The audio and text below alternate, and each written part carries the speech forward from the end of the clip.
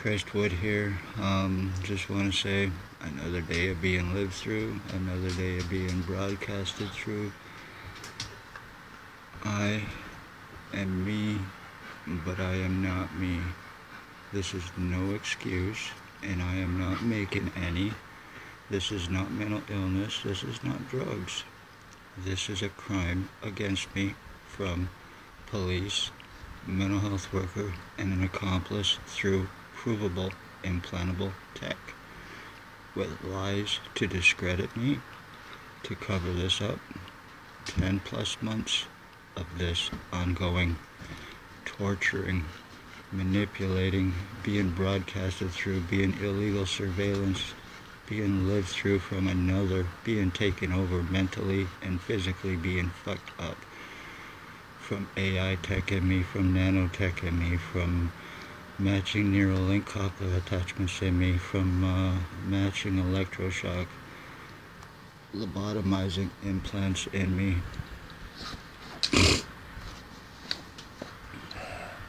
And this can all be proven. I have no feeling in my head right now. I have no feeling in the right side of my face. I feel my face and it doesn't even feel real anymore because I am being so fucking numbed from this shit inside me doing this to me, like I've said, for 10 plus months. I am in the process of having my identity stolen. I'm having I'm in the process of having a piece of shit criminal live through me. His way of helping OPP get revenge on me. This is not conspiracy. It's not about hate. This is about an actual true crime that is taking place with me. I am a targeted individual from these people. I have provable implants in me from these people. I have provable injuries from this tech from these people. Mentally and physically for 10 plus months. And the longer this goes on, I probably will not be able to talk about it much longer because the way I'm being fucked up, I'm being locked, numbed on my right side and being locked on my left from this shit in me. And this is how these bastards are getting away with these crimes. This is how they're accomplishing homicides. This is how they are accomplishing human trafficking. This is how they are accomplishing illegal spying on people through remote neural monitoring. They are causing illnesses, deadly illnesses, and cancers and diseases in people from using this tech. from high EMFs, causing radiation, causing brain tumors, causing body cancers. And all sitting back being remotely done on victims, and they are using it. The police here are using it on victims with an organized criminal mental health worker and their accomplice and getting away with it. Them, him committing this crime on me is keeping him free from returning back to the psychiatric hospital where he belongs. He's untouchable, he's unarrestable.